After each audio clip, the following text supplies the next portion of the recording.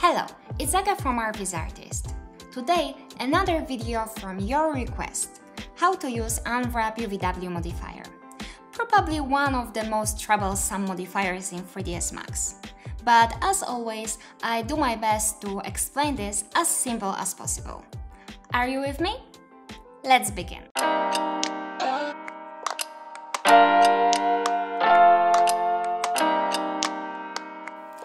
Divide this topic into a few parts.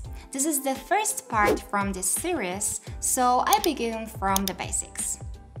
Let's start from explaining what this modifier is for. So the Unwrap UVW modifier allows us to control how the texture is mapped.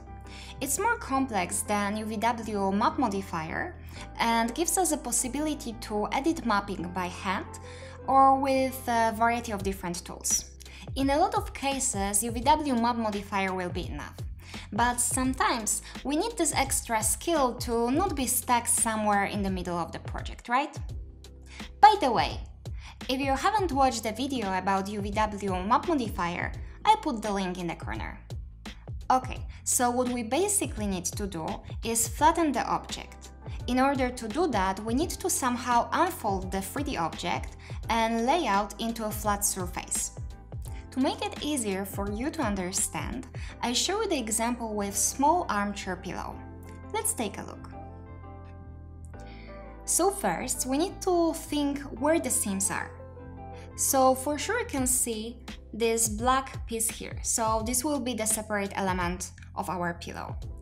Then you can see that there is the seam along the pillow and it creates three different pieces of the material. So one, two, free. When we take a look back, there is one piece of material here. And of course, this will be another one. So basically, to lay out this into the flat surface, we need to divide this into five different elements. So one, two, three, four, and five. So in the 3D software, we basically do the same. We take the 3D object and divide it into a few flat elements. So let's open 3ds Max. We'll start from something simple. I create a simple box. I'll change the size. Now, let's add the Unwrap UVW modifier. Basically, there is no need to use unwrap modifier in this situation, as we could simply use box uh, UVW map modifier, but it's just easy to start with something simpler. Okay, you can see that the new panel full of options appears here. Click at Open UV Editor to see the main window we'll be working on. Now, here are the main selections option. You can use polygons, edges, and vertices. You can select them both in the UV editor and in the scene. There are different ways we can map this. In this case, I show you the flatten mapping option.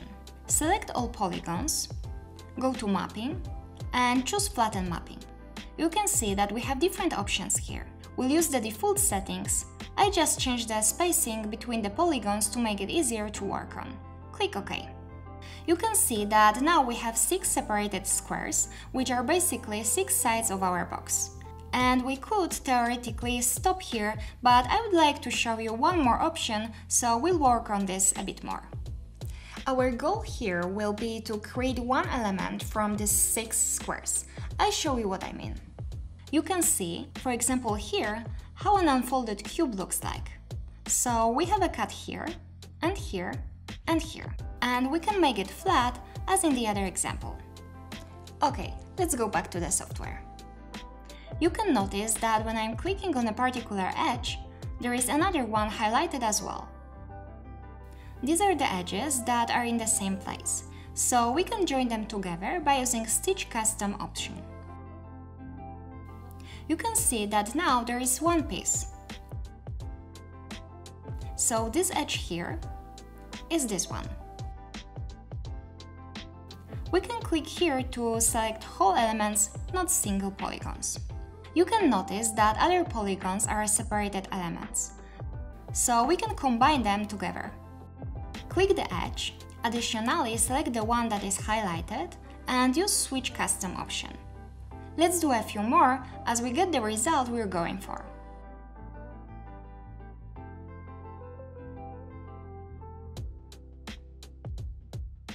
Great, it's one element now.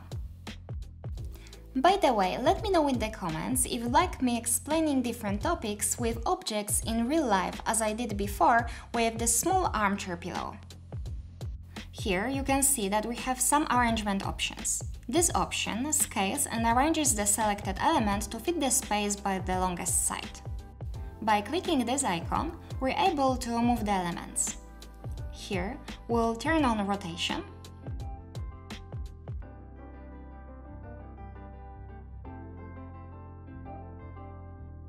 and here we can scale.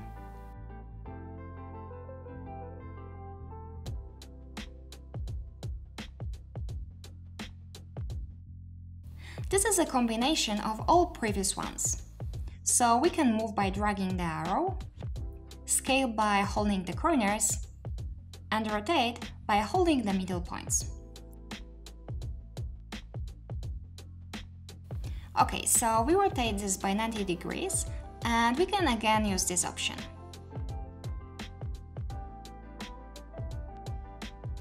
Here we can choose the maps that will help you to unwrap everything properly. So you can easily see now that the piece of map, which is visible under this square, is projected at our object. We can also use a checker map. Here we can scale by a value. Let's say we want this twice bigger. Just type 200. Easy, right? Okay, now I show you another cool option. As we have our unwrap done, we can render the UVs. Go to Tools, Render UVW template. We can change the settings here. For example, the resolution of the map, or colors or render map, but we'll leave it as default. You can play around with these options if you like. You can notice that we have it rendered as a flat image. Save as JPEG and let's go to Photoshop. I'll set different colors to different size just to show you how it works. It can be helpful if you want, for example, the sides of the box to be different colors, textures or whatever.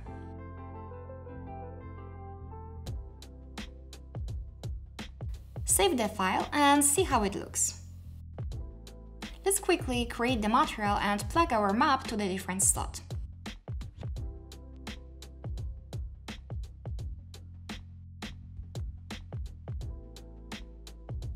Great, you can see that each color is on a different side.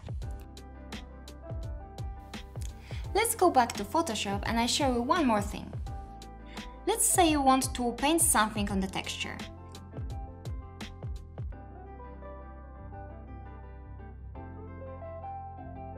In the center part of the box there is no problem because edges are connected to each other. I will show you how to paint on edges that are not connected.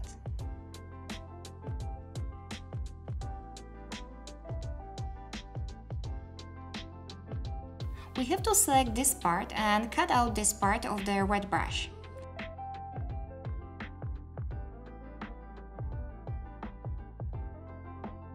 Also duplicate this part of the cube. Next, rotate it and position it this way to meet the other edge.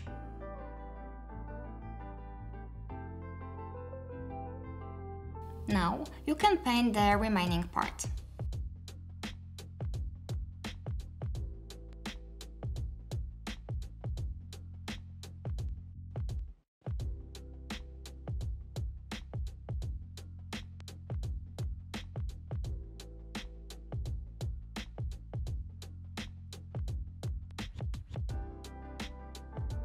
We have to cut it out again and position it in the correct place.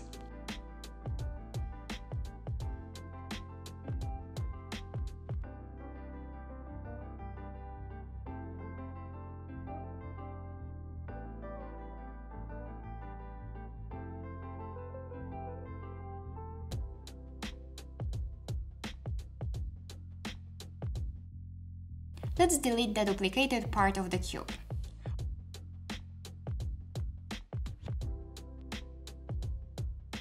When it's done, save it.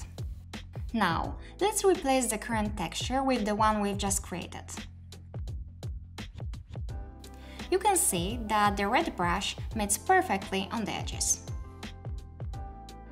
I think we're going well so far. Are you ready for another example? Now, let's work with the cylinder. I show you other cool options. Let's apply the modifier. You can see that we have an issue here and there are green edges. We can easily fix it. Let's use UVW mapping clear and convert to editable poly.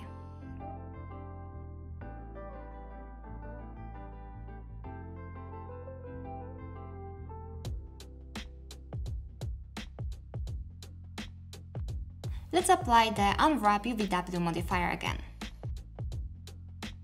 Now again, we need to think how we can unfold this. Great, I like this example so we can see that we can separate the cylinder into three pieces, two circles and one rectangle. I show another way of mapping now. As we know how it should look, we can select where we want to cut our object. So first, select top edges and create seam from them by using Convert Edge selection to Seam. Seam imitates our cuts. Let's do the same with the bottom. Now, we need to set one more seam, which will go vertically. You can select these edges one by one, but I show you how point-to-point -point seams works. It allows you to add seams between chosen vertices until you exit this mode. Okay, let's open the UV editor.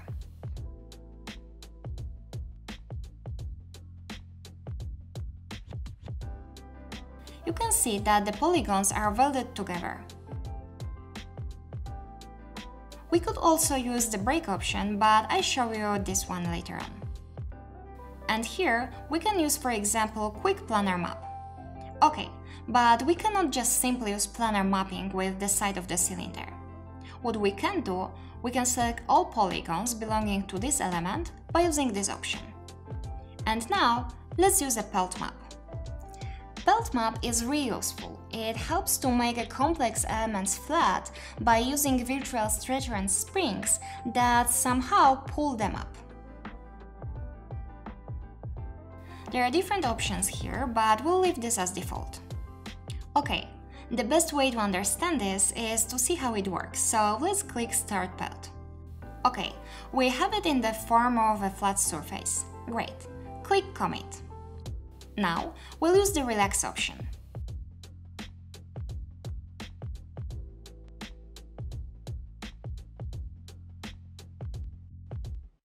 Awesome. Let's rotate this.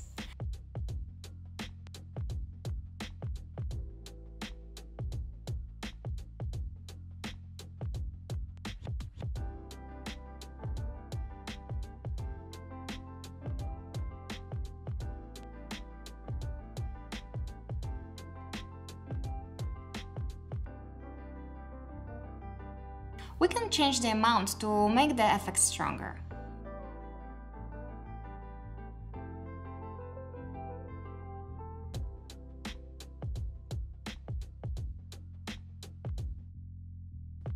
We can scale it and arrange it.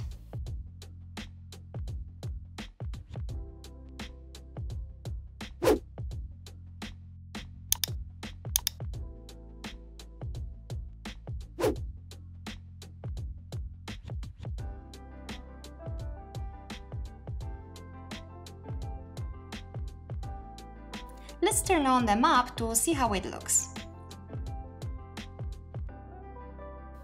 Awesome, we're done. Great, I think we've done a good job today. I hope you enjoyed this video and you're ready for the next parts coming soon. Thanks for watching. Also, don't forget to like this video if you found this interesting, share it, subscribe and do all these wonderful things. See you guys in the next video.